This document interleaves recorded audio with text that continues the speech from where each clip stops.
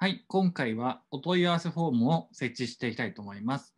お問い合わせフォームは ZTOL ならではのやり方とプラグインを使ったやり方があります。まず最初に ZTOL ならではのやり方をやりまして、その後プラグインのやり方を解説していきます。まず ZTOL でお問い合わせフォームを作る場合は、固定ページ、新規追加ですね。そうすると新しい記事のページになります。タイトルはお問い合わせです。はい、で、ここの下書き保存を一回押してあげます。そうするとパーにパーマリンクというのが出てきます。はい、で、ここ URL スラッグというところですね。ここのお問い合わせを消しまして、コンタクトと入れます。URL スラッグは半角の英語で入れます。これは他の記事も一緒ですので、えー注意しておいてください。そしてページページ属性をクリックしますと、デフォルトテンプレートに最初になっていますが、ここ、お問い合わせ TPL ですね。お問い合わせテンプレートの略ですけど、お問い合わせ TPL をクリックします。で、えー一回プレビューしてみます。こんな感じですね。で、まずできるようになりますということです。で、えー確認しましたこ、ここですね。ちょっと予約になっちゃってるんですけど、おこうあのちょっとねあの、バグがあるみたいです。ですが、こう公開になっていると思うので、基本こうやって公開押しては押せば OK ということになります。で今、コンタクト2になっちゃったんですけれども、僕の場合はすでにお問い合わせページ1個あるんで、勝手に2になっちゃいましたが、基本はこのコンタクトまでになるはずです。はい。で、これが ZTOL ならではのやり方というふうになります。えー今回僕はこの問い合わせフォーム2個目なので使わないので、ゴミ箱を移動します。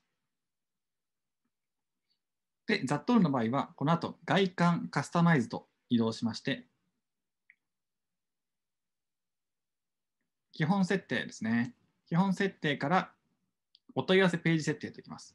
で、自由入力項目のタイトルを入力とあるんですけれども、ここですね。この電話番号の部分なんですが、基本、件名としておいた方がいいでしょう。ですね。電話番号を入れていただいてもいいんですが、あまあ、メールアドレスだけで基本は十分ですので、えー件名とします。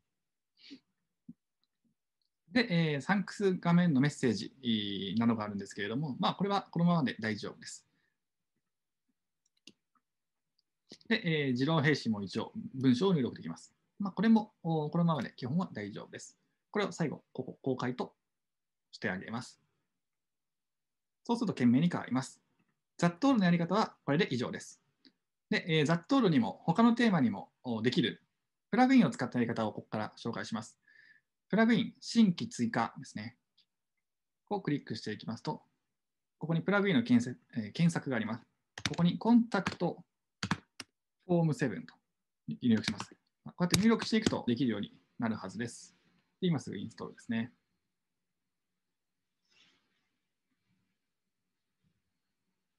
はい、これ有効化します。有効化しますと、ちょっと表示が変わります。ここですね。お問い合わせというのができます。でお問い合わせをしまして、新規追加というのを押します。で、タイトル、お問い合わせです。お問い合わせとします。で、フォームなんですけれども、おここですね、氏名、メールアドレス、題名、メッセージ本文とありますので、えーここに入力したいフォームう入れ直します。はい、で基本的にはですね、えーこのままでいいです。はい、このままで大丈夫です。で、次なんですけれども、おメールですね。こんな感じになってるんですけれども、まあ、これもよくわかんないと思いますが、あこのままで大丈夫です。はい。で、このメールに、これをチェックしてください。そうすると、2が出てきます。はい。で、このサイドタイトル、サイドタイトルで、えーいろいろなんかよくわかんないようなあメッセージが出るんですけれども、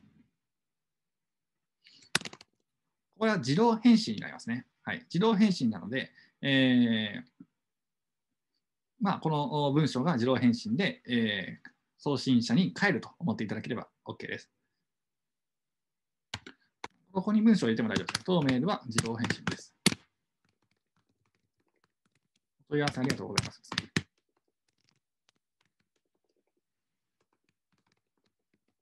ここは文章自体は決まってませんけれども、連絡いたしますので、しばらくお待ちください。改めて、24時間以内とか時間入れといた方がいいですね。はい、こんな感じです。ここは自由です。で、保存を押します。そうするとですね、ここにショートコードが出てくるんですね。このショートコードをコピーします。はい。で、えー次、固定ページ新規追加ですね。そうすると、お問い合わせと入れまして、まあ先ほどと一緒なんですが、このパーマリンク URL スラック出てないときは1回下書き保存をしてください。ここのスラッグ contact を入力しまして、えーテンプレートはまあこのままで OK です。はい。で、下書き保存はあするかしないかはご自由ですけれども、こう公開しましたとなります。はい。で、確認してみましょう。まあ、こんな感じですね。出てきますということです。で、ザットールの場合は基本的に、えー最初のやり方でやります。で、えー他のテーマの時は、あこのプラグインを使ったやり方でやってみてください。ということで、今回以上です。ありがとうございます。